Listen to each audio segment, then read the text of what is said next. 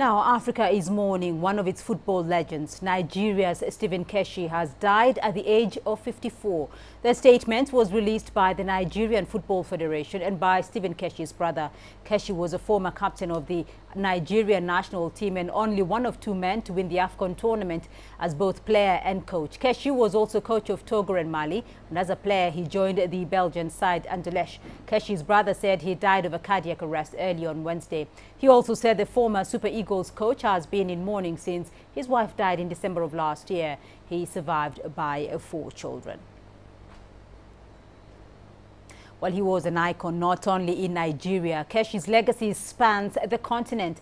The Ghana Football Association has sent its condolences to the family. In a statement, the GFA president, Kwesi Nyantakyi, wrote, Stephen Keshi was a great man and a noble spirit whose shining example of dedication to football and to uh, footballers was not only dedicated to Nigeria but to several countries including Ghana as he mentored several Ghanaian players. He was greatly admired by all and he will indeed be sorely missed. This is a very sad day indeed for all of us. End of quote. Well, a day indeed for the African continent. Let's get you some more reactions on the death of Stephen Keshi. And I'm joined live from Lagos by CCTV's Deji Badmus. Uh, Deji, how has the Nigerian Football Federation and the Nigerian football fans in Lagos, though, reacted to the death of Stephen Keshi? Well, Beatrice it's been total shock in the country. As a matter of fact, nobody knew that Stephen Keshi was actually in Nigeria the news came as a rude shock. It actually came at about uh, 4 a.m. Uh, you know, last night, and um, I mean this morning, I should say.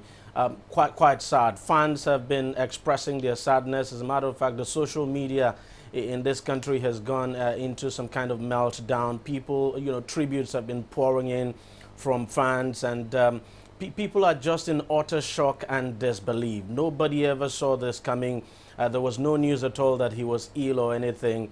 it's total shock, and uh, tributes have been pouring in. Uh, Beatrice? Well, it, it has come as uh, quite a shock, not only for Nigeria, but the African continent at large. Do we know at this stage what the funeral arrangements are likely to be?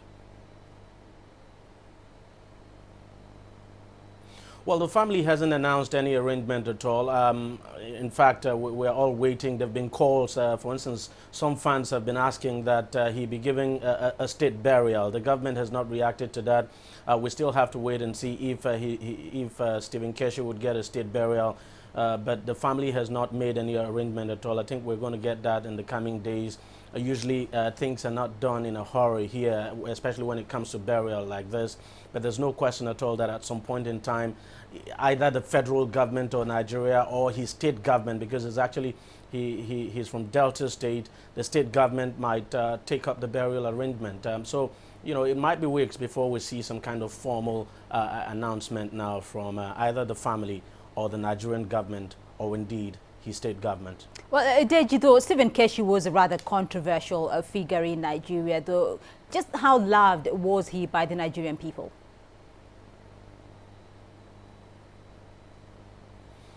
Well, as you said, very controversial figure, but very much liked, especially uh, during his time as a player. I mean, he captained the Super Eagles for a very long time. And during that period, of course, um, the, the, the, Nigerian national team, the Super Eagles, won the Nations Cup in 1994. He was the captain of that team.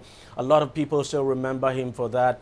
His colleagues uh, in the Super Eagles at the time would always remember him as someone who fought for his players. I mean, he was very vocal about players' welfare and was always standing for his colleagues, defending their rights. Now, of course, as you know, in 2013, he won the uh, Nations Cup, and uh, um, you know people would not forget that the second, the first Nigerian coach to win the Nations Cup, and the second African to achieve the feat as both a player and a coach. People would always remember that. Of course, things didn't go too well uh, during his latter stages as um, the coach of the Super Eagles.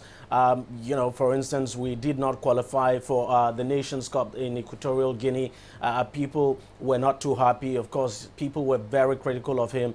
But then all the same, people will remember Stephen Keshi as a dedicated footballer. And, and what people have been saying here, they've just been highlighting the positive. Nobody has seen anything negative at all. As a matter of fact, the performances, he's, he's performances during the latter stages of his, uh, you know, coaching, his, his job as the Super Eagles coach. People are not talking about that. We should also not forget that Stephen Keshi actually opened the floodgate for um, Nigerians to ply their, uh, Nigerian footballers now to ply their trade abroad. So uh, he, he, would be sure, surely missed. There's, there's no question at all.